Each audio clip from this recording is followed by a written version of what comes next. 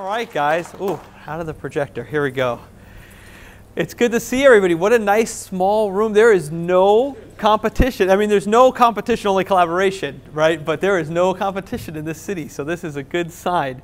So, you guys, uh, I'm really excited and honored to be here. It's uh, my privilege. I don't do a lot of speeches or talks. Uh, Andrew and Michelle were rhinos. They came in, they crushed it. They asked me to come, so I just did it as a favor to them. But uh, I'm happy to be here with you guys. And this night is for you guys. So pick my brain. I'm to, there's, after you leave this room, there's no reason why every single person in this room cannot do a $10,000, $20,000 deal like within the next 10, 20, 30 days. Wholesaling is easy. Wholesalers are complicated. So I'm a really simple guy. I got a 990 on my SAT. That's my total score. So, um, so uh, this is really simple stuff. If I can do it, anybody can do it. It's, it's, not, it's, it's not easy because most people don't want to sell their home, and the people who do don't want to pay your low price. So it's a numbers game and it's difficult for that reason, but there are so many deals. I had a chance to meet with a few people today. People are crushing it, making tons and tons and tons of money. Uh, some of them not even not even living here. So uh, they do it virtually in this market. That's how good the market is. And when Andrew shows you a slide like he showed you before, uh, it just tells you that there are going to be more cash buyers fighting over your deals. And the guys and girls who have the most cash buyers, they make the most revenue. So we're going to we're going to dive right in. I'm going to tell you everything that works about wholesaling, exactly what it is, and exactly how to do it. And uh, let's get started. So if you have any questions, I'm here for you guys. So there's nothing for sale. This is not a sales pitch at all. So there's nothing to buy. If you have a question, stop me. If you're confused, stop me and we'll go over it. Uh, I'm here as long as you need me. So uh, let's, let's first of all talk about what are we actually talking about because there's so much confusion about what wholesaling actually is, right? So some people will say, well, it's having to do with it signing a contract. It doesn't. Wholesaling is very simply the art of consistently finding discounted properties. That's it. That is where the definition ends. If you can get really good at finding a discounted property in your neighborhood, you can become a very, very, very wealthy person in a very, very short amount of time. That is absolutely true. And everything I'm going to tell you tonight is absolutely true. And if it's not, I'll tell you, hey, take this one with a grain of salt. But everything I'm going to tell you is coming from from doing it or from teaching it. So it's, it's, uh, that's a fact. If you can get good at finding deals, you will become very wealthy. Um, every single good deal, whether you are Donald Trump or Robert Kiyosaki or any other real estate investor, every good deal starts with a discounted property. That's it. So, what is a good deal? Whether you're a rehabber or a landlord or a flipper or a buy and hold or buy and put on MLS or buy and assign the contract, it doesn't matter. All of the margin is made when you buy a, when you find a good deal. Make sense? Easy peasy, lemon squeezy. All right. So wholesaling has nothing to do with your exit strategy. Wholesaling is very simply an exchange. It's like a pawn shop. What it is, is you are giving the seller speed and convenience in exchange for a low price. That's it. It has nothing to do with real estate. It's all situational. If you can really in your belly understand what I'm saying about that point, this business will be so easy because it is easy. It's literally, it's brain dead easy. People make it about the real estate and they complicate it. It's not about the real estate. It's about an exchange of speed and convenience for a low price. Cool? Easy. Okay. So uh, the other thing too is a lot of people focus on like sales strategy or negotiation strategy, and there's all these books, and there are a few good books, right? I, I really like Oren Klaff has one uh, called Flip the Script. Uh, he talks about ABL, which is always believing, and there's a really there's a there's a few cool strategies out there. But here's what I will tell you: if you are a deal finder, you don't have to be good at sales, and you don't have to be good at negotiating. That is absolutely true. So if you're worried, like, oh, I'm a timid person, I don't like to talk to people, you're finding deals, you're not creating them. Again, most people don't want to sell, and when they do, they don't want to sell at a low price. So you, all you have to do is you have to, you have to just say, great, uh, this is not a deal. I'm going to go find one. And you'll know when you find one because they're very obvious. You, you, after a while, after two or three of them, you'll be able to find them very quickly. You'll know in 30 seconds. Uh, and again, of course, no competition, only collaboration. This especially is true uh, in, this, in this city. This is a B market, which is uh, a way that we define markets, and it is a smoking hot city. There are, is, there's not nearly enough wholesalers to cover the amount of properties uh, that, that you could come in here and uh, make a fortune in a very short amount of time. Um, so before we deep dive wholesaling, I'm just going to tell you when I started, uh, I was very successful at wholesaling very, very early on. Um, I will tell, I'm going to tell you, I'm going to share with you exactly why I feel like I was successful because I did a few things differently than other people did. Uh, first of all, I'm a Christian and I tithe. I will tell you, tithing is in the Old Testament, and then some Christians are like, well, it's not in the New Testament. No, it is in the New Testament. It's in Matthew 23 23. So it's in the Old Testament and the New Testament. So uh, in Malachi it says if you don't tithe, you're stealing from God, and if you do tithe, you're go- it's going to run overflow. So I'm just going to put this out there that uh, when I got started, uh, I went to a Sean Terry. I went to a Sean Terry uh, event in Atlanta. This is when I was 33 years old. I'm 40 years old now. And um, Sean was talking about the book, The Four Spiritual Laws of Prosperity. I then, within a two day period, I had three people tell me about tithing. Uh, one of them was Louise, uh, and then there were two other people.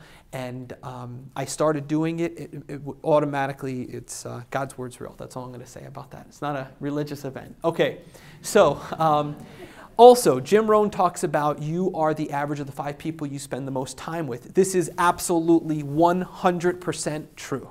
If you find a person who's like poor, or they're always like they have a victim mentality, or they're always they always have like a latest emergency every time you talk to them, look at who they're spending time with. All of those people have the same exact problems that are going on trying to spend time with a person and not be influenced by that person is like if I told you to go for a swim and try to not get wet. It's impossible. So when you listen to Jim Rohn's advice, you have to pick the five people you're going to spend the most time with. But more importantly, you have to really start to cut out some people. So one of those people was a family member for me that I was very close with, and I had to stop spending so much time with him. Um, and he went down a totally dark road that was not good, and I'm glad that I did. I, you know, I, I wish well for him, but I don't want to be a part of that. So uh, it's not just about who you spend time with, it's about cutting out who you're spending time with is even, I would say, even slightly more important than who you spend time with. Um, Progress, not perfection, massive imperfect action. We're going to talk about more of this on another slide, but education is preparation. I'm going to give you some stuff that you can go out there and make a lot of mistakes. Adopt this attitude early. When I was getting started, I was getting instruction. I was making a ton of progress. I, if you talk to anybody in here who's done deals, who's already done deals? Who's already done? Okay, awesome. A ton of the room. Okay, so was your was your first deal full full of mistakes? You had the wrong contract wrong person wrong title company. You didn't say something you right? So everybody who is get started in real estate whether you have five years of training and a license and experience or you just start tonight it's all about progress not perfection uh, and massive imperfect action. So just go out there and if you don't know what you're doing just make a lot of mistakes. The guys and girls in this room who get the most results who make the most results uh, make, make, the most mistakes and get the most results, those are the ones who are going to make the most money every single time. Anybody in our training program, when they're on the phone and they're like, oh, I got this property under contract, but I'm only on the first module, I don't know what to do. Always the guys and girls who are going to, they're like, oh, I made 500 this year, I made a million this year. Always the same people, every single time, every single time, without exception. So, massive imperfect action, progress, not perfection. Perfection will kill this business. So just go out there and make mistakes and look like an idiot and then go right back out and look like an idiot again. All wealthy people, right? They, do they care what you think about them? Right? Is this like a common thread with wealthy people? They don't care what you think, right? They're willing to have awkward conversations. Have you noticed that wealthy people are really good at awkward conversations? It's because they don't care what you think, right? That's the key. So really easy. Um, the other thing is that since I've been standing up here and since you guys have been sitting in the audience, is that the same amount of time has passed for us. So throw time management out the window. There's no such thing as time management. There's only priority management. So if you say you want it, you want it, I really want it, I really want it, all I have to do if I want to know what's important to you is I just have to look back at what you did in the last six months. That's all I have to do. You don't have to say a word to me. I all I have to do is look at your time and I say, okay, well, you spent this much time at this thing, and you spent this much time with your spouse and this much time with your children. I know exactly what's important to you. So if you want to really dominate time management, just make stuff a priority. And there's ways to do that, uh, which we'll get into in a minute. One other thing that I did is up until the time I was 33, I really wasn't a reader. Every, I, I noticed that the only commonality with all wealthy people is that they all read. They're all different ages and fitness levels and races and nationalities and uh, different educational backgrounds, or some have no college and some do. However, the one thing that they all have in common is every single person is a reader who's wealthy. Every single person who you're like, this is where I want to be, I guarantee you they have a library. You ever notice like every house that's over a million dollars always has a library? There's a reason. They all read. So commit to eight pages a day, even if you're a slow reader, even if your guidance counselor told you that you're an audio learner or visual learner. If you can read street signs, pick up a book, read eight pages a day. Just do it. It's, your muscles of brain. It'll, it'll change your whole life. Um, journaling is really key because your brain will play tricks on you. So don't make a big deal. You don't need like a fancy diary with flowers on it. I don't have anything like that. It's um, you just get a journal, write one sentence a day. What did you do? Hey, I, you know, I, I took Lacey to ballerina school today. She had a great time. You know, I, I, I spent. It doesn't have to be about business, but just start getting in the habit of writing down every day one sentence a day what you're going on going on in your business or your life, and you're going to be amazed when you go back what you wrote down and what you thought happened and what actually happened and how your belief system starts to play tricks on you. So it's, it's a really good practice. Other reason that I was successful was because of my mentor. This one is key for me because my mentor was my older brother. So that was I was very fortunate because I knew a few things about my bigger brother. Uh, number one, I knew he was very wealthy. I knew he was rich. So I didn't have a question of like, you know, when somebody's trying to like sell you something, you're kind of like, well, does this person really know what they're doing or are they just trying to sell me something? So I didn't have that problem because he was my brother. Uh, the other thing that I had is I knew he had my best interests at heart. So that was really, really important for me because the top reasons that new wholesalers fail is they either lose faith in the mentor they lose faith in the program, or they lose faith in themselves. It's always one of those three reasons. The only other thing that could come up is a distraction because they see something that's shinier. They're like, oh, seller financing. And like, oh, rent to own. And like, I'm going to do this. And then they, that, that could also happen. But it's usually they lose faith in their mentor, they lose faith in the program, or they lose faith in themselves, which is actually the most common. Like, oh, this guy can do it. But, you know, Tom got a 990, so he can do it, but I can't do it. So that's uh, hopefully not going to happen to you guys. So if, if you are struggling, if you have a mentor, just ask yourself like, hey, where is my belief system on this? Do I really believe my mentor is doing this or can, has the ability to teach me? You know, can I, do I really believe that I can do it or do I really like have a fear of money and success and things like that? So let's jump into uh, a little more specific information here. So uh, number one reason most wholesalers fail is education. Education is a showstopper. It's a deal killer. Uh, education is absolutely the number one reason new wholesalers fail. Um, the way I want you to think about education from this point forward is if you can do this, uh, this is going to last a lifetime for you. Not if you're a doctor, but if you're a wholesaler, this is the best, uh, which is instruction. You get clear instruction. You guys have Andrew Michelle right here. Total, total rock stars, rock stars, right? Like $3 million portfolio, all these doors, like amazing. Um, get clear instruction. Don't question it. Don't, when, when somebody who is richer than you and more successful tells you what to do, don't put it through the filter of your, like your, the, your own brain and be like, well, what do I think about this? No. You either are going to submit to a mentor or you're not going to submit, but don't play games with them and yourself. It's wasting everybody's time. If you just want to be successful, emulate. That's what successful people do. They find somebody who's successful and they just do everything. I used to tell this, I would, I would Todd would tell me what to do, and I'd be like, I don't want to do this because you're my older brother and you're better looking than me. And when we were in high school, girls used to come over to my house to hang out with me, but then really want to hang out with you. And so I'm not going to listen to you. And he'd be like, no, you do it right now. so I'd be like, fine. And I would do it, and that was a game changer for me. And when I would ask him a question, he would hang up the phone. That's what he would do. And he would say, don't ask me questions because if you're going to ask me questions, I'm not going to I'm not going to coach you. And that's how and because I had that strict training from my older brother, it was like a Mr. Uh, Miyagi uh, Danielson type of relationship, um, I was super uber duper successful right out of the gate. Um, so here's the key get clear instruction from wherever you trust. Take massive and perfect action on that instruction. Know you're going to fail and don't care what other people think of you. You're going to get a result, and that's going to be your education. That's the whole secret to this whole business. It's so simple. Wholesaling is simple. Wholesalers are complicated. This is the answer right here. That you, this is a I cannot fail solution right here. Because if somebody who went before you is doing it, they're going to tell you exactly what to do. Just follow it. Don't put it through the filter of your own opinion. Legal, legal. Let's talk about legal. So every single state is different when it comes to real estate investing. I'm just going to say this. I have a lot of friends who are very, very, very, very wealthy. You never hear my wealthy friends sit around and make fun of attorneys. You know who makes fun of attorneys? Poor people. You ever hear like poor people get together like, oh, attorneys like bottom of the ocean jokes, right? All this stuff. You know who doesn't do that? When you're sitting with people worth like this guy's 600 million, this guy's worth 500 million, this guy's worth a billion, and this guy's worth 20 million. You don't. You know what they say about attorneys? Oh, do you have a good attorney? I need a good attorney on my team. I need a good attorney for acquisition. I'm going through a merger. Who's the best attorney to cover me here? Who's so make an attorney part of your team. They're local. They're here treat an attorney with respect, listen to whatever the regulators tell you to do or not do. Every state is different, but no more making fun of attorneys because only poor people do that. You guys are wealthy, so we're not going to do that anymore. Um, okay, let's get into, as we go in each slide now, we're going to start to get into more specific detail on how to wholesale a house here. Um, Number one secret all of the men and women who came before us have all taught us these lessons. All of the great men and women that we hear about, right? Like all of these great guys and girls, they've left us books that tell us all the answers. There's nothing new under the sun. Everything has been done before. There's no new original thoughts. Everything is done before.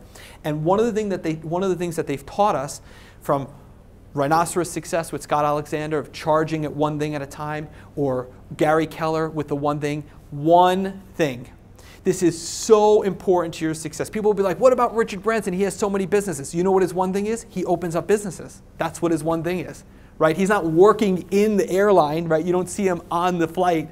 So the, the one thing is so key. So what I would focus on is whatever you're going to do, find one way to find homes, one way to buy homes, one way to exit. That is it. This will be the difference between somebody who builds a business and somebody who builds a job. Because you can, you can start to say, like, oh, well, Sometimes I come across an account where the seller has a lot of motivation, but they have no equity. So here's what a job person does I'm going to learn how to do subject to deals. No good. Right? Here's what a wealthy business owner does. I'm going to totally ignore that opportunity and focus on the, only the people who have equity and motivation. Or I'm only going to focus on the people who have motivation and no equity and just learn subject to deals or whatever, rent to own, it doesn't matter, rehabbing, landlording, whatever, but stick to one thing. Don't try to, to build a case by case basis, right? You see, you see these people like, I want to learn how to do invest in notes and I want to learn how to invest in this and I want to the reason they want to do that is because in their job mentality. So in a job mentality, every opportunity is an opportunity. So they're working hard and they'll get to 60 or 70 and they'll keep working and they'll be chasing cash. Not the key. You want financial freedom, chase the business. One thing, do it really well. It's super easy. It'll serve you for a lifetime. Okay, where do you find deals? So this uh, slide is super uber important. So let's spend a little bit of time on this slide because now we're going to get into like the nitty gritty of wholesaling so you guys can leave right now and do a deal. That's the key. Um, okay, first of all, these are lists. So lists are just groups of people who may be more motivated than other groups of people to sell their home at a massive, massive discount. And remember, we want to be deal finders, not deal creators, right? So we're looking for deals. We're not trying to create them. This isn't about how good you are at sales or negotiating. So the majority of those sellers are going to live on these lists. Um, these lists are smoking hot, by the way. So this is like not common knowledge lists. So Andrew Michelle will tell you like some of these lists aren't even out to all the rhinos yet. So this is just stuff that I'm just doing for you guys. So number one, unknown equity, unknown sale date. This is a list that you can get from ListSource. All that means is that these people, for some reason, there's a classification problem in the county, city, township, or municipality, and they don't know what the equity is. Why is that a hotter list than most lists? Because they've never been mailed before. And just that in itself of people who are unknown and haven't been mailed before because we're in a numbers game, just that in itself makes it a hot list. Absolutely, go ahead. Yes.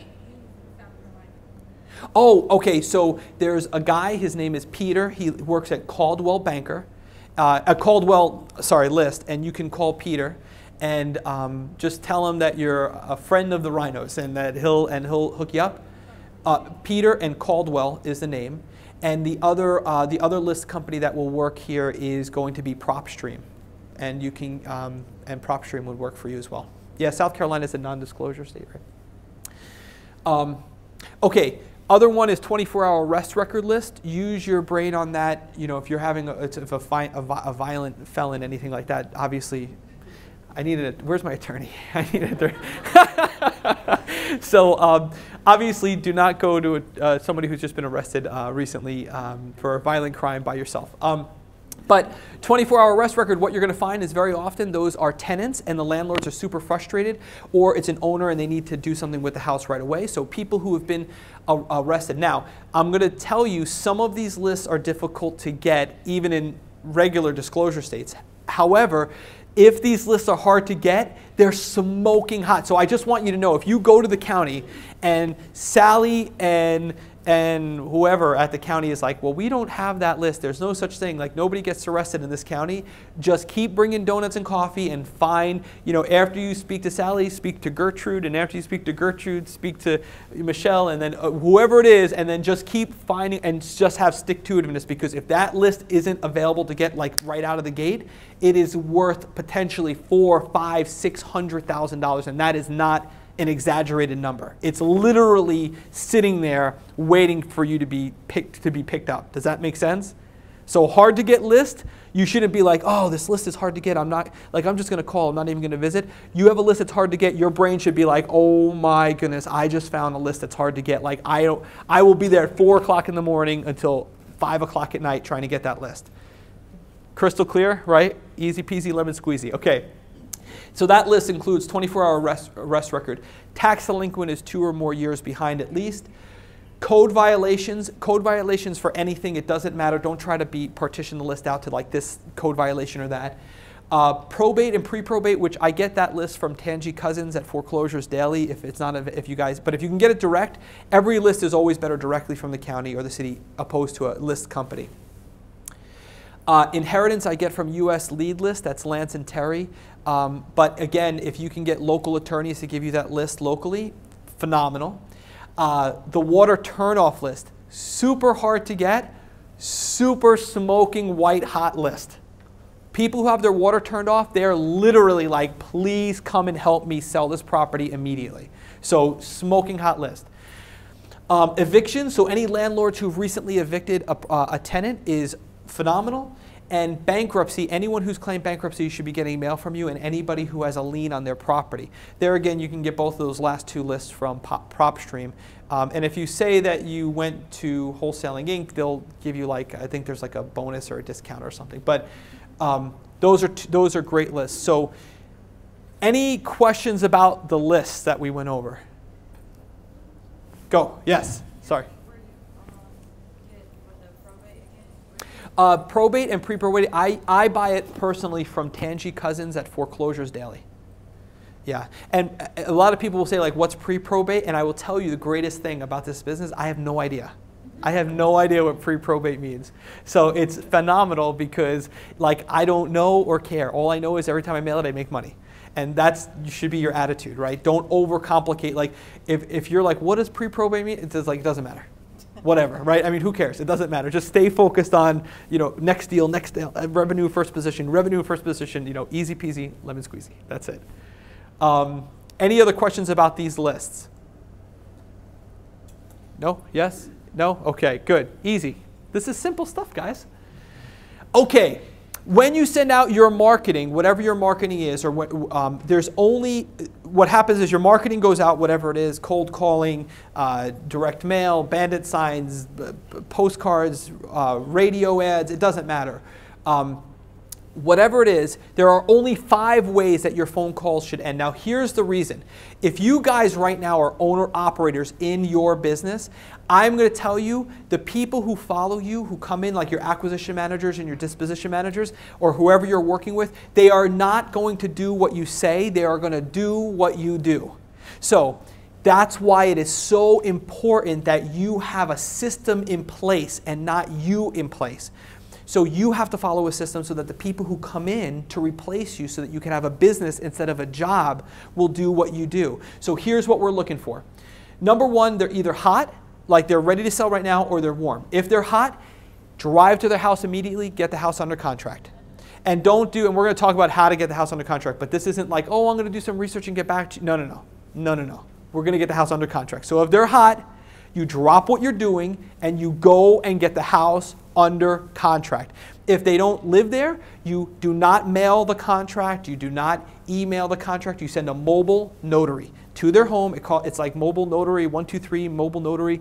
You send one, it's like 100 bucks, and you get the house under contract. You don't mail them the contract or email it to them because if you do that, the brother-in-law is going to be like, oh, Sally, he only wants to pay 125. I'll pay you 150 for that house. I wanted to buy it for your nephew, which he never will. But it's going to delay the contract. You control your destiny, not the seller. You control your financial uh, future, not, not the sellers or anybody else. So you have a hot deal, get it under contract. If it's warm, like they're kind of interested, massive follow up. People will always say, like, what's the follow up sequence secret?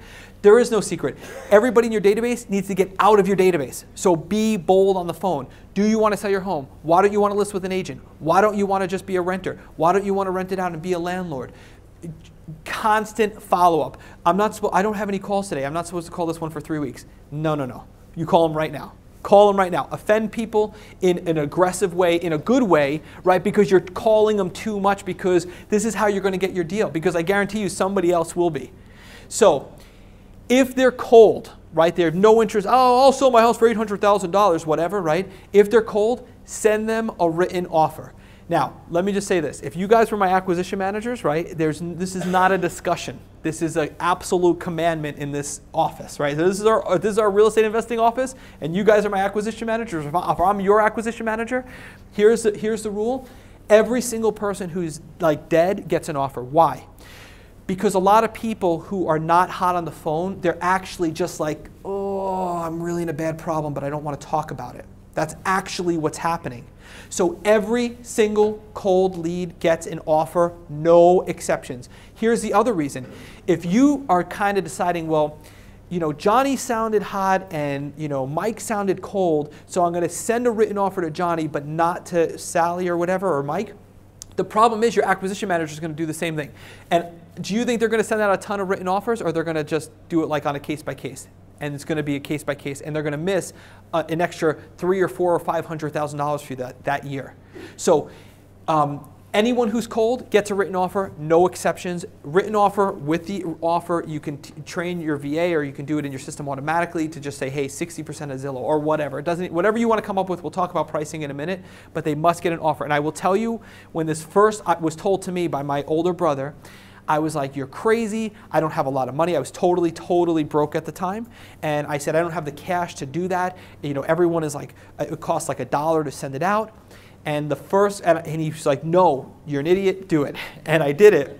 And the first guy who called me back was this guy, Paul, who wanted, he was on Salaz in Port St. Lucie Street, and he wanted $85,000 for his house. At that time, that was ridiculous because Port St. Lucie was totally in the dumper, and this house was in a bad area and I sent him an offer for 24,000 and he called me back like a month later because they expire 7 days they expire right so the offer expires so it's like an actual even though it's a marketing piece it's like a real contract so he called me back and he said, Can you still do 24,000? Because things have changed. I got your paper, but it expired. I said, Well, I don't think so, but let me come over. And I got the deal for, I think, 16,000. It was one of my first ones. So, yeah. So I will tell you absolutely, like, if you realize, like, what's the secret to making a lot of money in wholesale? Like, that, right, is the secret.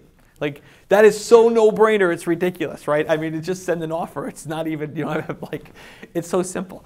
Um, if you get a voicemail, leave a message, text, and keep calling and keep following up. I know this is ridiculous, but the whole thing is it has to be a written system. Oh, did you have a question? Yes.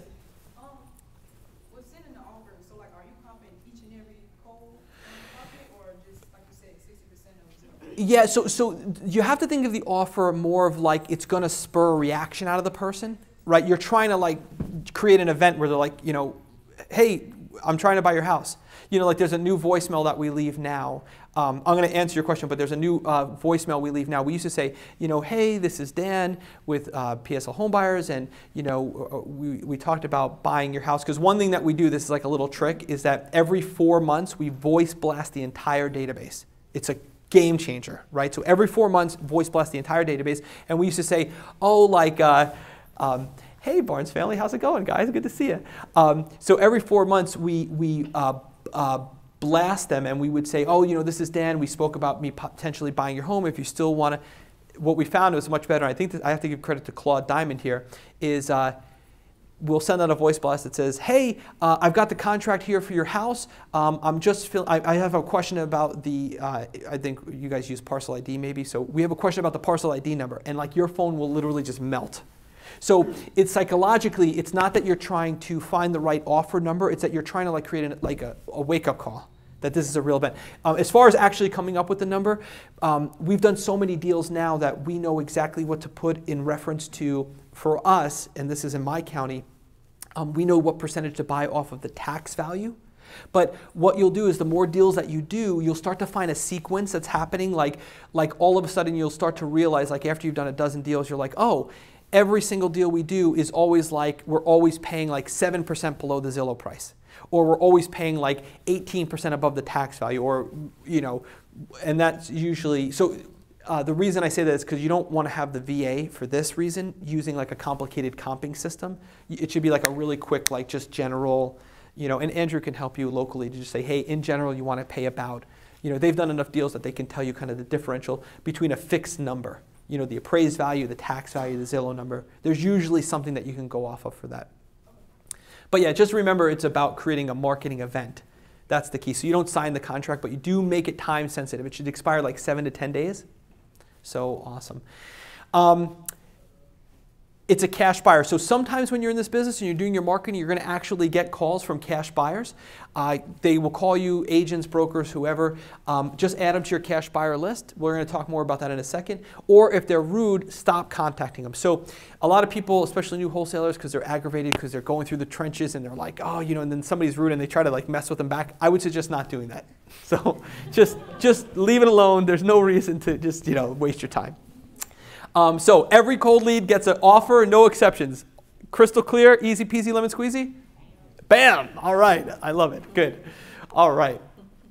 How do you come up with the price? Uh, here is the secret to coming up with the price. It is so simple, it's brain dead. Like it should take you 30 seconds to come up with a price for a house. So anybody, if I catch any wholesaler in this room going into a house who's never done a deal, pretending they're going to rehab the house and talking about the price of granite to a homeowner, I'm telling you, I'm just going to appear out of nowhere and be like, stop doing that right now.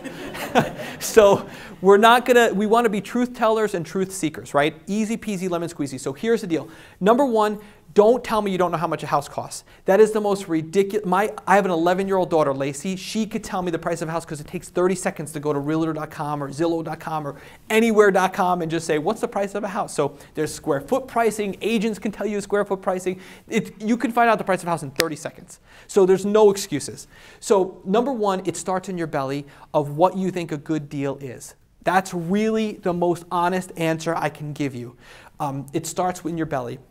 The other thing that I always want you to consider when you're like doing research instead of having an awkward conversation with the seller, which is so important, is I really want you to understand what are the consequences if you are wrong about the price. If you're wrong, you cancel the contract. You have a 10, 15 day inspection window, cancel the contract you have good intention. It's not like I would never say to go and trick a seller and offer them more, then wait 30 days and then cut the price. You never would do that, right? But if you intentionally, if you really believe, like I think that $98,000 is a really good deal, then that's what you do. Does that make sense? So, so I just want you to understand that there's nothing that can go wrong if you're wrong. You just cancel the contract. No, um, Another key point here is if I were to ask in this room, right, if I, we went, all of us went to like 123 Main Street and I said, what's the value of this home? What's the price of this home right now, just the current market value or the ARV value, whatever value you want to use. If I asked five agents, five appraisers, five landlords, and five rehabbers, I would literally have 20 different prices that would range like within $100,000. Literally, I am telling you. You know the people who are like, I know, I know, I've been in this business, they don't know. Like it's crazy. It's just because real estate's so emotional. So, um, and ARV. There is no using ARV. Uh, there, I will know because there's enough rhinos in this room. What, what, some rhino, tell me, what does ARV stand for? Bam! Assumptions reduce victories. That's exactly what it stands for. So if you're a new wholesaler and you're trying to come up with ARV, which is so beyond ridiculous, right? I mean, not to like, but it's just just think about it, right? To know ARV, you have to know how long is a house going to sit on the market. No way a new wholesaler knows that. Number two is you need to know how much it's going to cost to rehab the house, and you have to know to what point and then what it's going to sell for. It's literally an impossible number. A professional rehabber doesn't know what ARV is, so there's no way a new wholesaler is. But here's the bigger problem if you start doing ARV and looking at this and looking at that and pretending like you're a rehabber, you're actually going to do less deals because you're going to be, uh, you're a race car driver and I'm telling you not to look at the wall and you're looking right at the wall and you're going to drive right into it. That's exactly what's going to happen because the problem is, as wholesalers, we don't win on price. So when you're talking in ARV language, you're making it about the price. Do we win on price? No. Are we ever going to be the highest offer? No. Who are we looking for? Motivated sellers, right? So, you guys, it is so important to not make this rookie mistake about making it about the house or pretending to act. That the worst advice ever given in human history is act as if. Do not act as if. People will not root for you if you pretend to be something you're not. Just be who you are, and people will root for you. They'll be like, oh, you know, you have a really good heart and you're the underdog, I'm rooting for you.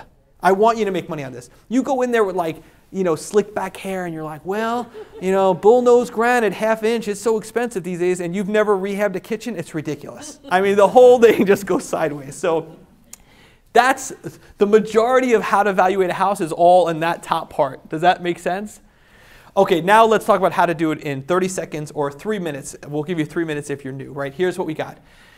Very simple. Take 80% of the three lowest comps in the past six months. Use common sense. So if you take a 3-2, similar square footage in the similar neighborhood, um, you take the three lowest comps. If there's one that was like a fired, burned out property and they're all like 80,000, 90,000, 100,000, and there's one that sold for like 25,000, just eliminate it. Just use common sense, right?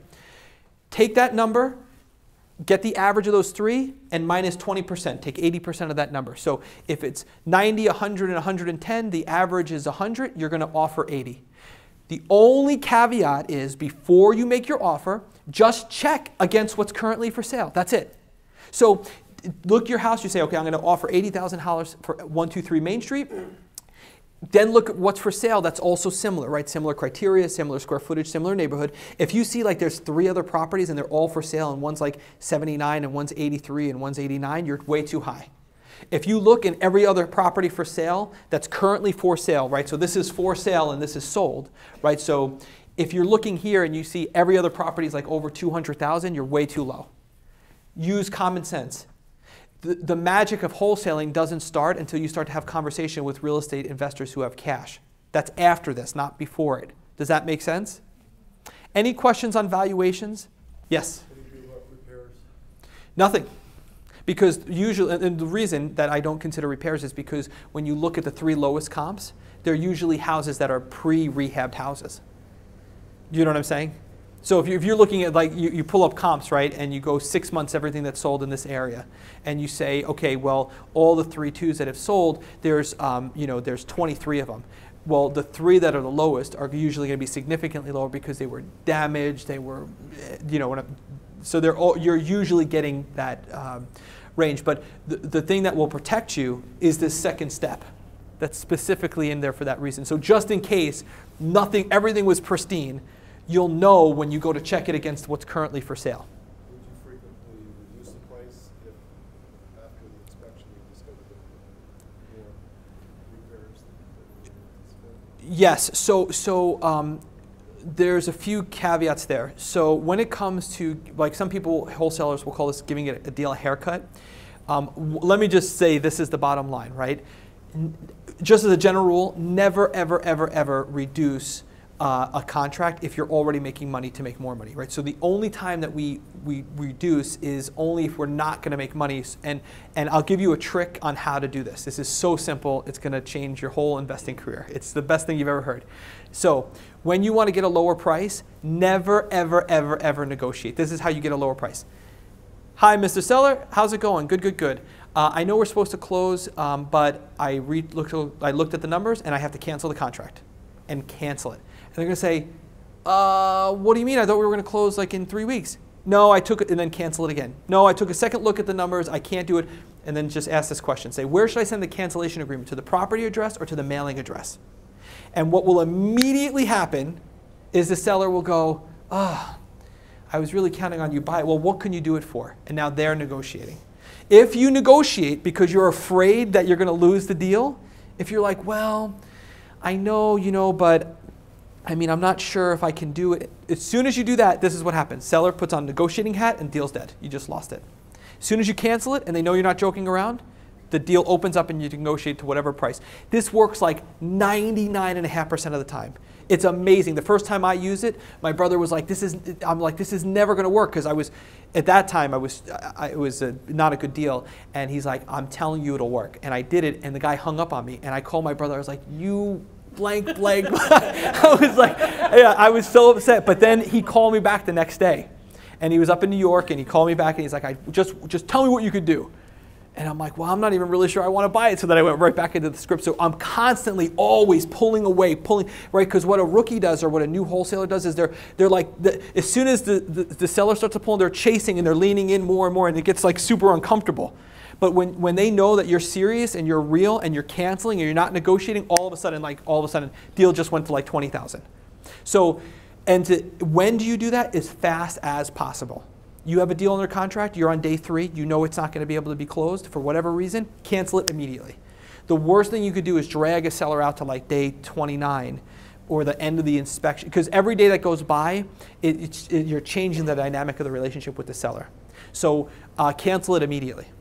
So you know on day three you're not going to be able to do it, just boom, hey, I got to cancel the contract. Then they're going to say something, whatever they say, no, I got to cancel the contract, and then say, where should I send the purchase, the cancellation notice? To the property address and to the mailing address. And then as soon as you say that, shh, don't say a word. Next person who speaks loses. So it, it's going to be awkward silence for like 30 seconds. I'm telling you, you're going to be like sweating. Just mute the phone and be like, ah. but it really, really, truly works. It will. This, I promise you that this will blow your mind. You're, you're going to be like, I cannot believe that this is the crazy. But that's just like a little trick that'll help you on that. All right. Any questions about valuations or evaluating a property or coming up with an offer price or anything like that? Bam. Okay, how do you, now you have a property, you go and meet with the seller. How do you get the property under contract? Again, you guys, this is so easy. Don't overthink this simple, simple, simple stuff. Okay, so be the sea dragon. Who knows the mating habits of a sea dragon? Anybody? Nobody. All right, I'll educate you about. It. There we go. All right, bam! I love it. All right, so here's here are the mating habits of a sea dragon. Um, and it's really simple. It's called mirroring. This is actually something, again, that I learned from Sean Terry seven years ago when I went to his uh, event. He calls it mirroring. Uh, sea dragons do too. So what happens is the, the, um, the female dragon and the, and the male dragon are looking at each other, and everything that one does, the other one does, and they're exactly the same the whole time, and they're like dancing, right? That's exactly like everyone, like all the sales training and all the negotiating, you could just throw it all away and just be a sea dragon, right? So here, somebody get a sea dragon tattoo. That would be awesome. Um, whatever the seller does or says, that's what you do or say. So you can be really specific and granular about this, like when it comes to physicality, right, or or the mirroring them physically. If they if they lean in, you can lean in. If they lean away, right, you lean away. I know this sounds basic, but I am telling you it works 100,000% it works. So whatever they do, you do. If they're really loud and they're from New York and they're like, oh man, I moved to South Carolina, I'm, oh man, it's like, it's too muggy down here right? Just be like, I know, I can't believe it. I want to go back to Long Island. Like, just raise your voice. But here's where it's more important, right? When they are pulling away, don't chase.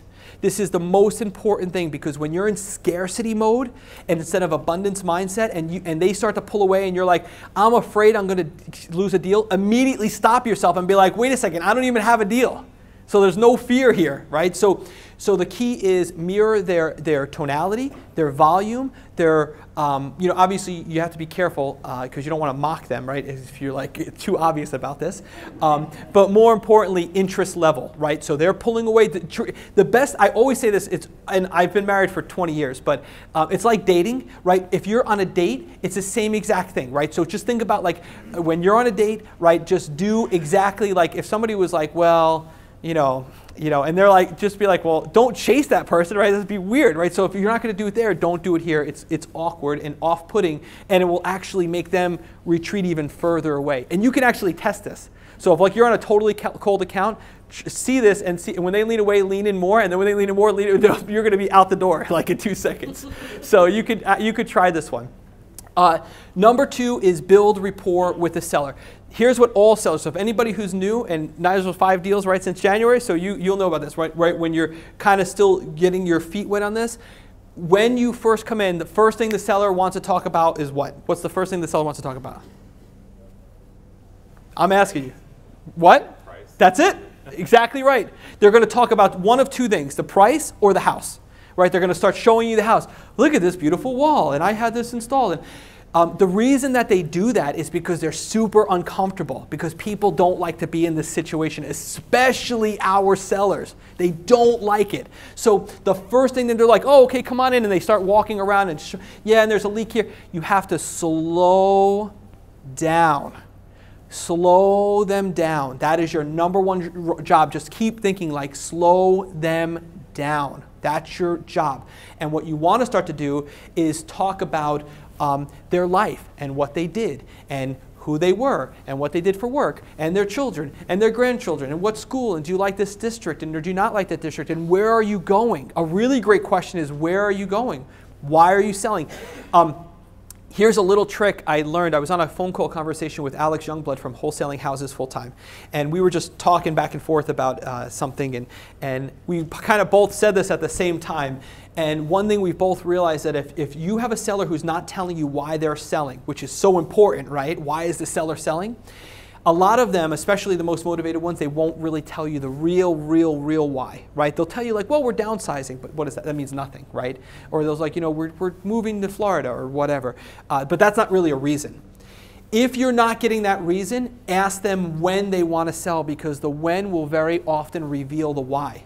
So if you're just like hitting a brick wall and you can't get anywhere with them, just kind of pivot and say, well, when would you like to sell by? And then they'll usually say something like, oh, well, I have to sell by the end of December because you know, and then they'll just say the reason, like because the house is in foreclosure, or because I haven't paid my tax bill, or because I'm going to tax auction, or because you know my my uh, I'm in a domestic uh, violence situation, and the, my boyfriend you know is is a truck driver, and he's going to be back from California in three weeks. That's an actual story that somebody told me. Is that they, they the girl's name was Lisa, and she was in a domestic violence situation, and um, she had to sell in three weeks because the truck driver boyfriend was on the road, and she she owned the house, so she wanted to move and sell and be gone, and we did it for her. So so if they don't tell you the why, try to figure out what the when is, and that will often reveal the why. This is one of the most important things that I've ever learned about wholesaling houses, and I cannot overstate the importance of this section right here. Every single question from a seller is an objection. I don't care what the question is. What color car do you drive? What year is your car? How old are you? Where did you go to school? How long have you been doing this? Did your dad teach you this business? I don't care what the question is. Are you going to live in the house? Are you going to rent out the house? Are you going to rehab the house? Every single question, when a seller asks you a question, and their voice goes up at the end of a question, right? So you'll hear it. I just want to train yourself. You automatically should lean back and just be like, wait a second. Because you're there to be the leader and the helper. They're in a boat that's sinking, right? That's who our sellers are. You're there to throw them a life raft, right?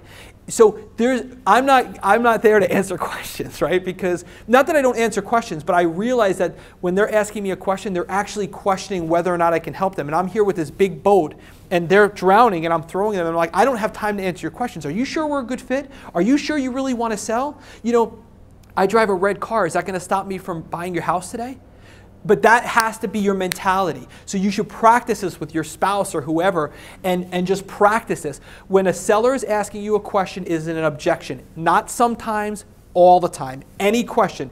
If they're asking you, there's a question behind that question. They're trying to tell you something. I don't like people who drive red cars.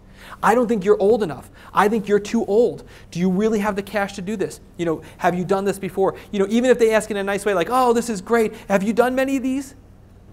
Oh yeah, I mean, but you know, it just like you just have to like stop. You have to just train yourself, like, and just that, that's the key. Does that make sense? So so important, guys. I cannot. This is like one of the most important things that will really help you get a tremendous amount of deals uh, in a short amount of time. Because you will, if you do this incorrectly, this will be a deal killer. This, if, if you start, if they start asking you questions and you're like, oh, I drive a red car and I like red because even though I get more speeding tickets, and I'm gonna do no, that's verbal diarrhea, and that shows them that you're scared that you're going to lose a deal. When you start answering questions, you're not able to help them anymore.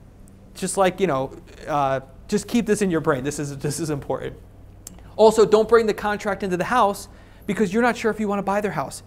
That seller better get busy convincing me that I should buy their house, uh, that, I, uh, that, that I should give them my money. That seller better get busy convincing me that I should give them their money because there's a lot of houses for sale and there's a lot of sellers and I'm not sure if I want to buy. So you better get busy convincing me. See, it's a whole different mindset, right? I'm not convincing them to buy. You don't hear or, or, you know now it's Dan, but you don't hear Dan go in there and start to have verbal diarrhea about how great we are and da, da, and how great it's going to be and da da da da da da da. We don't convince them. We ask questions like, "Are you sure you want to sell? Why don't you list with a real estate agent? We're not going to be top price." We're probably going to make a quick profit on this and never live in the property. The, the other thing about sellers is any if you're with a seller, anything that pops up in your brain that you're afraid to say, say it. I, I cannot stress this enough. Do not try and hide or conceal because the minute you start doing that, your tonality goes down. You're, you're like, oh no, yeah, like, no, I'm, I'm probably going to uh, rehab this one and keep it as a rental. And that's not true, you're going to kill the deal. There's no reason to lie in these deals. Be who you are. Do not act as if it's, it, and don't omit anything. If you're like, oh my goodness, if this seller knew that I was assigning this contract, I'd just be like, I'm assigning the contract. And they're like, this guy's weird. and they're just going to be like, well, what does a signing a contract mean? They're like, I don't care. Do whatever you want. I don't know the house anymore. I mean, but, but in our brains, we build up this big fear. Like we assume and we, it's all assumption and anticipation of what they're going to do. It's all not true. Make sense, guys? Yeah, go ahead.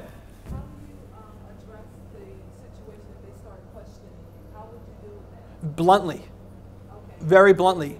So for well, give me an example. Like what is the what like what are they asking you that you're not? Yeah, so so what you can do is you can to be friendly, right? Because you're obviously like a friendly person, right? So to be friendly, what you can do is you can answer the question and you can say, "Is that going to prevent me from buying your house today?" Or you can also say, "Have you have you bought a house from somebody who was in their 20s before, or whatever?" You know what I'm saying? So you, you what you want to do is you have to. The, the whole trick is not really reversing it. It's about not trying to convince them. That's the secret.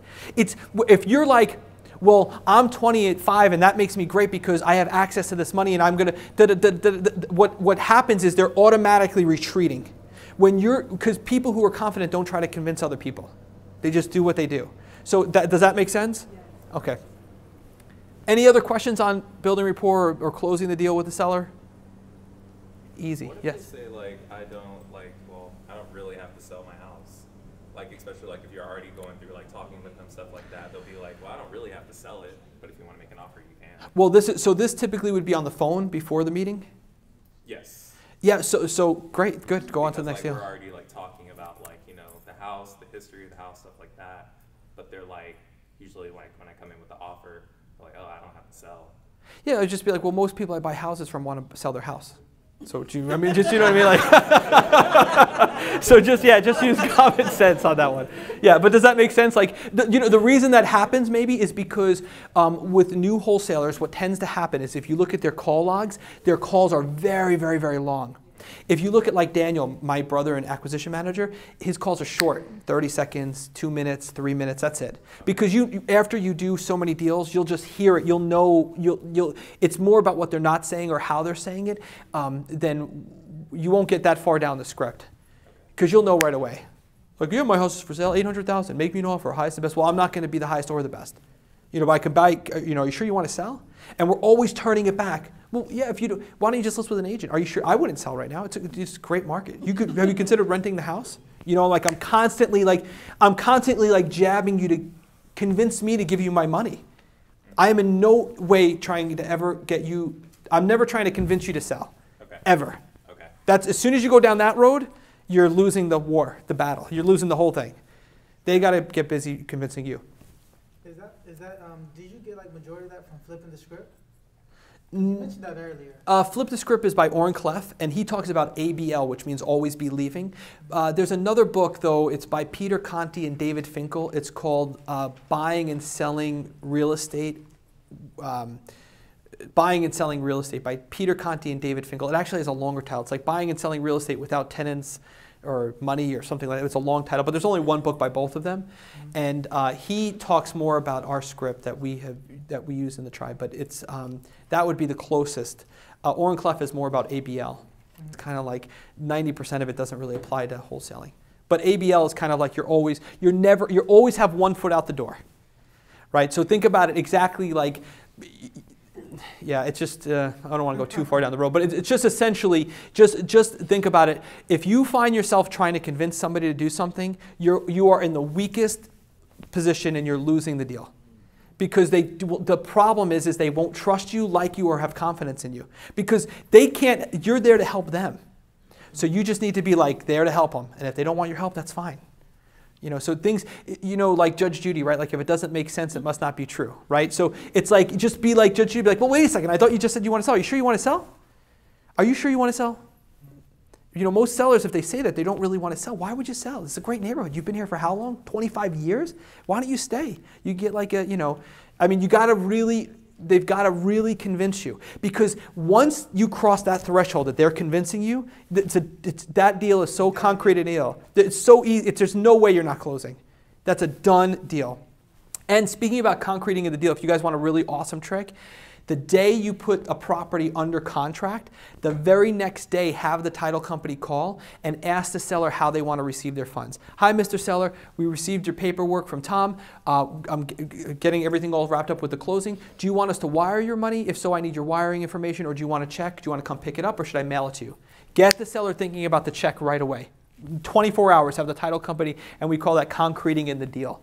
So it's just a little trick that'll help you make sure that you never lose a deal. You know, you don't want uh, a cash buyer to come in and, and take a deal like from you five days later. Yeah. Uh, I have a question about kind of like a situation. dealing Okay. with the seller. Uh, last Friday, I, I spoke with the seller on the phone.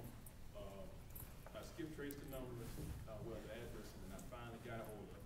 Okay. And the seller actually picked up and said, hey, I got, this is duplex, it's over here and such and such. Uh, I actually got another one, so speaking with him, I found out yet another one. So you got two of them in this area? I'm going crazy. Right. So, uh, he said, well, I'm not interested in selling right now, I wanna do some work to it, you know, myself and get them going. But he said, hey, I recognize this number is from the low country, I said, yes, uh, I'm from the low country. Okay. So on that part right there, he says he doesn't wanna sell right now, so he wouldn't be hot as far as the lead wise. So as far as the follow-up, would I do it like in a month's time, would I send him a card? Yeah. So uh, he to us that would be he would be considered cold. How how, how many deals have you done though? I've done one with, uh, Mentor a while back. Okay, so I would say number one rule for a new wholesaler is every single deal assume motivation no matter what they say. If they call you off of a 35 cents postcard, they're motivated. Like that's your brain, right? So your brain should always be every single person who calls me is motivated to sell immediately for a low price offer or until they prove me otherwise. So that's number one. Number two, when you have multiple deals, like two houses or two duplexes, this is a golden rule. 100% of the time, do one deal at a time and totally ignore the other deal. Like as if it doesn't even exist. Just say, oh no, I can only buy one right now. Do that deal and then you'll get the second one. When you try to go for both, you almost always, now there are some exceptions, but almost always, especially if you knew you'll lose both. Um, but the, the thing with them is, I would go out and, uh, well, let me just, you want to prematurely come out to every single property when you're first getting started. So if you've done like, you know, less than a dozen deals, pretty much until you get it like a system where you know for sure that you can hear it. Um, because the reason he, like, it, if you think about this, right, again, Judge Judy, right, if it, it, doesn't make sense, it must not be true. If you think about it, he's, why would he call you if he's, like, th- that doesn't even make sense. Like, I'm calling you. Oh, you cold called him. Oh, oh, oh, okay. Yeah, oh, no, no, with cold calling, do not. So let me take this back. It, do not visit every single property you cold call. totally different advice at this point. Okay. Yeah, no, okay, so, but in that case, then I would send him a written offer. Absolutely. That's a no brainer. Yeah. Yeah, everyone gets an offer, he would be one. Yeah, because that guy is pretty. Um, yeah, if, if he's saying he wants to sell at some point, you want to like you want to like get that price out to him as, as soon as possible, and then have him call you and be like, "I wouldn't sell for that," and be like, "Well, what would you sell for?" And then just go from there. Uh, yeah, go ahead. So just to piggyback off of, off of him, would, is his, would you say or assume that that seller is basically just trying to build it up to get a bigger, you know, for market value? It, it's hard to say. It's hard to say because cold calling is very unique because you're you're initiating the contact. So I love cold calling. I mean, we sell a product TTP by Brent Daniels. It's like you know great, right? However, the difference between cold calling and other marketing channels is that if you have 10,000 people to mail or cold call and I have 10,000 people to mail, I may only get like 100 phone calls, right? But you, to get to that, like those two deals out of those, or whatever those three deals out of those 10,000, you've got to make 9,998 phone calls. So the, the problem is it's hard, it's difficult. I love cold calling and I use it, but it's difficult to peg to say like, what is the level of motivation when you're cold calling? It's more of like a continual follow-up system. Make sense? Yeah, go ahead. Um, when the seller asks you to like, okay, you got, you're about to get property contract, and they ask you to explain the process, what is the best way to go about it? Without lying, but without, you know, telling them too much information? Well, you know, the prob- the reason you're getting that question is because you're not controlling the conversation. Because that's a question we never, ever, ever get. So you're too much of like a, in a service mentality instead of like instead of what I mean service, I mean like customer service mentality, um, where you're trying to convince them. So then they're like, well, tell me more about it. And that's not, that's not the way the, the script really works. You're, um, there, we don't really get that. Now, we'll get like sometimes like, hey, now that we signed the contract, how long does it take to close? And we could say, oh, well, you know, it probably takes, you know, three weeks. Do you need more time than that or less time? Because sometimes they'll say, well, I want to stay in the house longer. Or there's something called post occupancy, um, which you can do. But um, you're, that's a question that is, you're actually causing to have happen. Uh, so what you need to do is your script should be like very formulaic, right? It's like, tell me about the property. It's a nice house. Why would you consider selling it? You know, did I catch you in the middle of something? Or you know, you, you don't want to. Um, you want to be kind of your, your script should be formulaic in the sense that it's pulling away every single time you know, uh, sounds like you're in the middle of something, um, you know, and then you let them tell you, no, I'm not in the middle of something, we can talk now, right? Uh, it looks like a nice property, why would you consider selling it? So right out of the gate, they're convincing you, right? Well, I'm thinking of selling it because, so the formula that we're using is a little bit, it kind of steers away from that, that mentality a little. Yeah, go ahead. Your bottom line here is that we're either asking questions or answering. Yeah, well, answering. You're going to control the conversation. You, you want to control the conversation. Something I learned from Robert Kiyosaki directly. He said, whoever asks the questions controls the conversation. He specifically told me that, and it's very true. It is proven to be very true. So when you're in there asking questions, and when they start asking you questions, the tables are turning. You ask them, answer the question with a question. Yeah, but you have to be, don't be too, like, that could sometimes turn into passive aggressive, so be careful about that. But yeah, essentially, yes. Easy. All right, cool. Don't be a CBE. What's a CBE? I know we have rhinos here to that. Bam! Cash buyer employee. Oh, biggest mistake newest wholesalers make. Biggest mistake. This is how you know they, they became a cash buyer employee. You'll say, How many cash buyers do you have? And they'll say, I have a few, but they're really reliable. It's like, that is not a good sign. That means you're leaving a lot of cash on the table. So, here's what I'm going to tell you cash buyers are a dime a dozen. There are cash buyers in this room that will uh, tell you, like, I'm telling you, they're everywhere. Especially, did you see that chart that he put up, Andrew? That was uh, that tells you for sure. There's cash buyers are everywhere.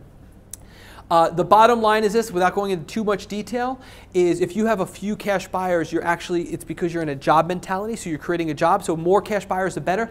Build a big list, make it bigger every year, every month, every week. Have a system in place to build more cash buyers. The more real estate investors you have with cash, the more money you're going to make because you're going to create a feeding frenzy around your deals.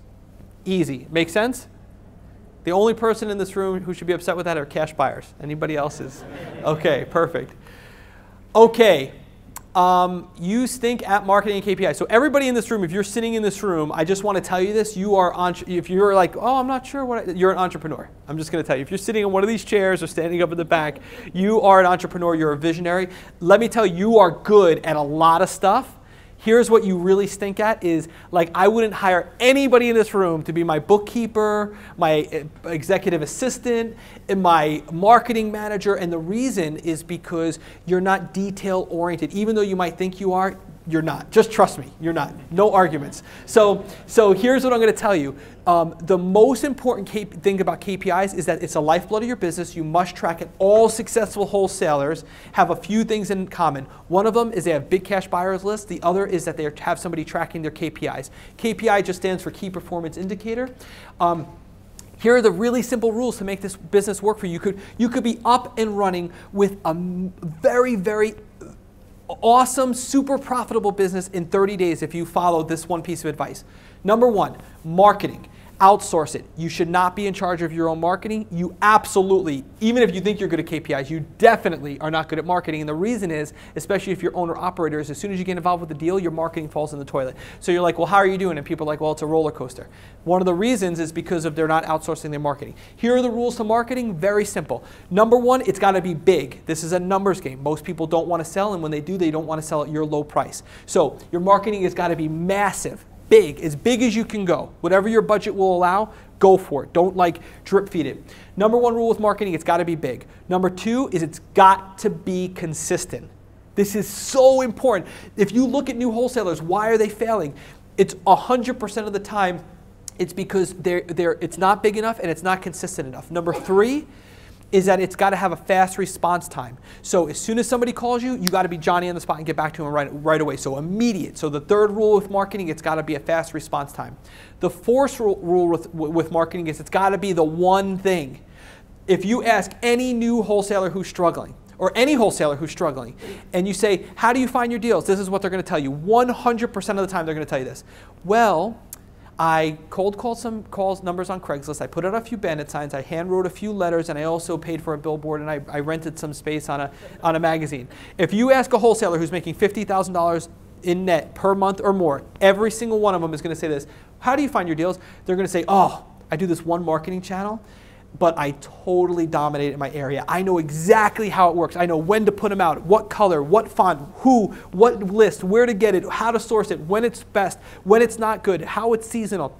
So, again, the one thing marketing has to follow the one thing rule dominate one channel at a time and then outsource it.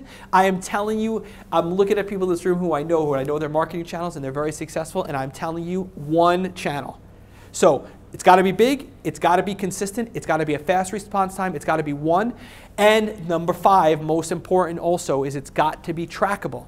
So if you're not tracking your ad spend or you're doing something really silly like branding, which is not good, what you want to do instead is you want to have it reversible. So if I spend $5,000 and I make 20,000, all I have to do is say, okay, well this month I want to make $100,000, so I'm just going to spend $20,000 or whatever the math is. Um, you could see I don't do it in the business. See, there you go. So, so, um, but if, if you follow those five rules, I'm not going to stand here and say you can't fail, but your likelihood of success, it's going to go through the roof. And every single wholesaler here who's doing well will tell you this, that this is true, that this is honest, wholesome advice that is absolutely true, and the inverse is also true. That anybody who here is struggling, I guarantee you, they may say that they're doing things consistently and big, but as soon as I open up their books and I look, and I'm like, well, wait a second, what happened here? Three weeks, you didn't do any marketing at all. It's always the case, like 100% of the time. Um, the other thing, too, is if I bought any of your businesses today and I said, I'm going to own your wholesaling business, you work for me, this is what I would hold you accountable. Hey, how's it going? Number one question I want to know how much marketing went out last week? How many sellers did you speak with today? How many sellers did you meet with today? If I buy your business, the only way that I'm making my money back, I don't care how, how many podcasts you listen to, I don't care how much branding and you spoke to people, and all I want to know are these three things, and I will know exactly how much money I'm going to make back. I don't need to know the excuse, I just need to know the numbers, and I can tell you what's wrong. So if this isn't lining up, um, then I'm not going to make my money back. The most important KPI to track that's going to tell me how to reverse engineer your business. So I bought it for 100,000 and now I want to turn into a million dollar business is this. How many calls equal a deal? That's it. Everyone gets so fancy and complicated with KPIs. If you can tell me how many calls equal a deal, I can literally produce a million dollars in your business. Because all I have to do is reverse engineer that number. So if I know if you send out 10,000 pieces of mail, you get a certain number of phone calls, you get a certain number of visits, and you get a certain number of deals, then all I have to do is reverse engineer that number. There is nothing complicated about this business. It's a numbers game. You know, is that 100% accurate all the time? No, but it'll get me close. It'll get me, it'll definitely get me closer than if I don't know the KPI or if I'm all over the place. So how many calls equal a deal? And, and, this is so important because it doesn't matter. Some people will say, well, I'm going to only count leads because only if they're interested. Don't do that. I'm talking about if a unique phone, if you send out a mail piece or a billboard or whatever it is, and you know what the, how many phone calls you got, whether they're rude or they hung up or they didn't leave a voicemail or they did, just look at this number and then just replicate it again and again. That's what a business is. That's why we're all here. It's not for the cash. The cash is meaningless. Money is meaningless. It's simple. It comes and goes. It's like a river, right? But it's the business that's what provides everything, right? So the business is the, the business is a, it's a process, a simple process that produces a, a, a, consistent result that's delegated to somebody else. That's all a business is. It's just a simple process, it produces a consistent result, and it's delegated to somebody else. So the only way you can you do that is if you know your numbers. You have to live and die by your numbers, and these are the most important numbers, especially after you've done a few deals, knowing how many phone calls, unique phone numbers, equal a deal because that number is reversible. Does that make sense, guys? Go ahead.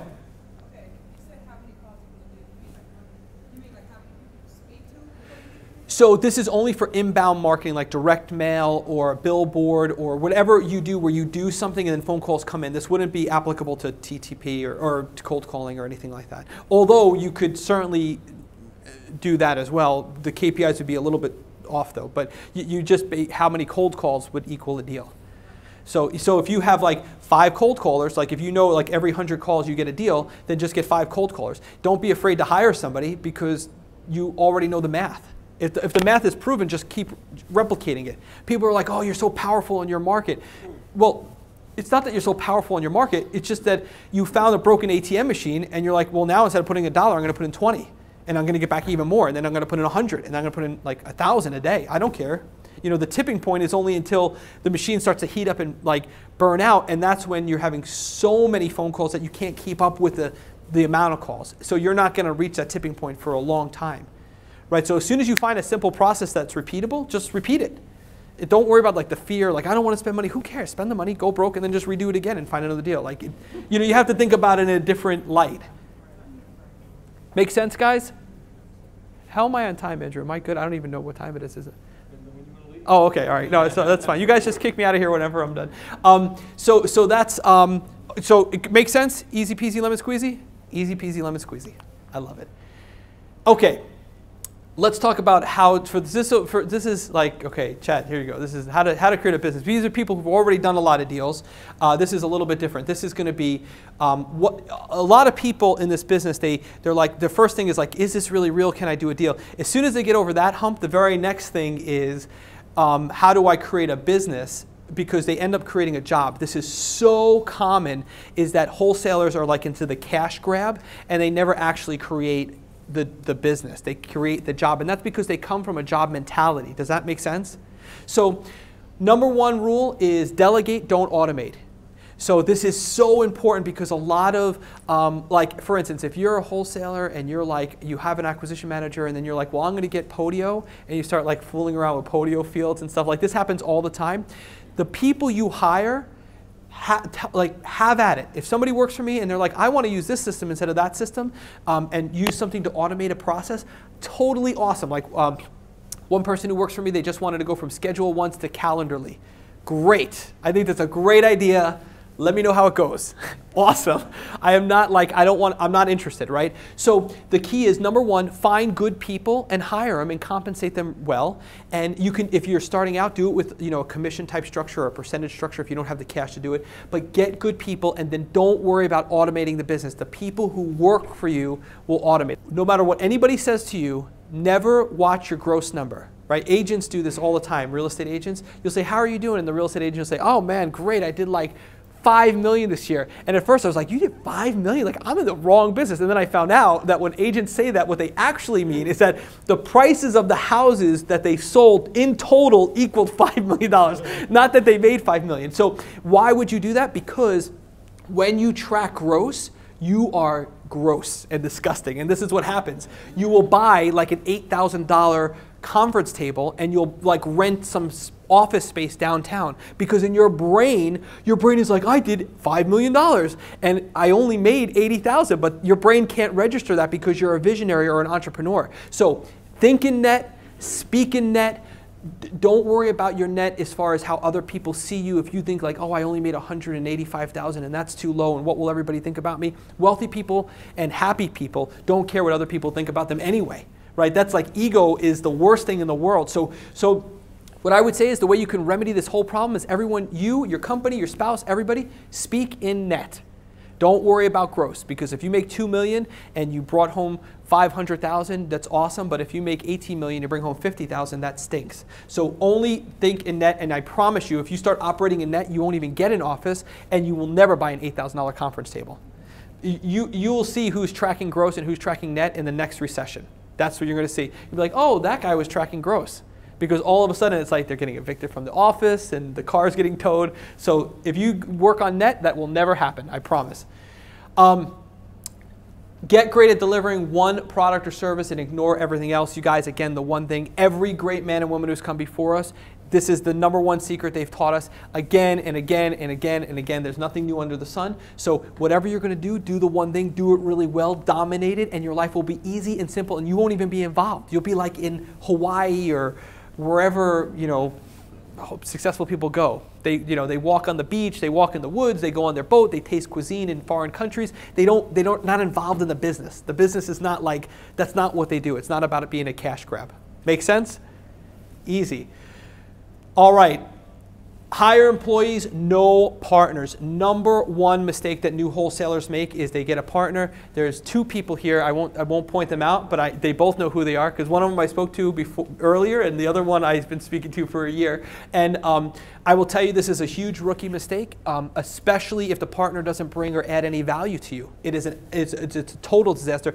It, after coaching literally thousands of people, I can tell you it almost never works. The only, the only exceptions are sometimes spouses, but here's what's interesting about the spouses, and there's also sometimes siblings who do it together. And it works even then very rarely, but because um, usually one spouse will eventually just leave the business. But what I will tell you is what's interesting about the ones that you do see work out, it's almost always, uh, it's never friends, that never works. But I've never seen it work ever. But um, what is interesting is that this, either spouse can do the business 100% without the other. So if anything were to happen to the other spouse, the other one is just as A-type personality and could run it just as well. It's not like I do the marketing and then he goes out and meets the people. That doesn't work. So no partners, and um, understand what financial freedom means. You guys, this is the other thing is that you have to, if you really want to have true freedom, you've got to put a cap on your financial aspirations because it's not all about money. And I know that sounds silly, but the people who I've seen these guys and girls who, um, actually, I'll just say it's only guys that I know who've done it that were actually they used to be my mentors and they're not anymore. I've seen men who have just chased the cash again and again and again until their 60s and 70s. There is no end in sight. It is a total it's a total debacle. It's a disaster. Don't do it. The best thing to do is just understand that financial freedom, whether you're a fan of Robert Kiyosaki, he says you're financially free when your assets pay for your liabilities. Dave Ramsey says that you're financially free when you can live off of 8% of your nest egg.